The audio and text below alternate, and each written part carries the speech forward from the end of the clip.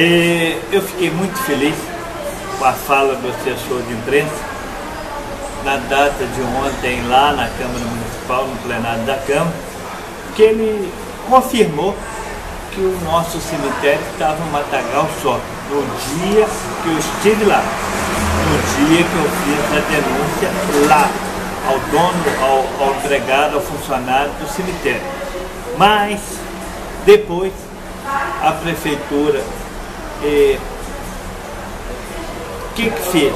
Mandou capinar o cemitério e ele confirmou isso ontem. Que no dia que ele publicou, na terça-feira, que ele publicou a matéria, o cemitério estava limpo. Mas foi limpo graças à minha denúncia e ao meu requerimento verbal lá com o funcionário do cemitério e eu só tenho a agradecer a administração com relação ao processo, agradecer à administração por ter atendido o nosso pleito. Acho que a função do vereador é essa, ir lá, criticar, fazer oposição, aplaudir o que está certo, mas principalmente corrigir o que está errado. E é isso que eu fiz e isso que eu vou fazer. O que eu não aceito e não aceitarei é uma tentativa de dizer que o que eu falei não é verdade. Eu, eu reafirmo que eu não gostei e não aceito esse tipo de crítica quando o assessor de imprensa da prefeitura publicou que o cemitério está limpo e bem cuidado. Está limpo e bem cuidado depois que eu fui lá.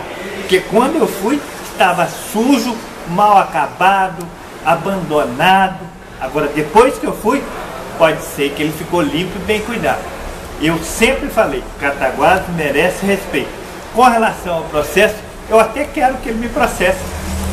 Eu até quero. Porque aí nós vamos definir quem realmente tentou macular quem e quem foi.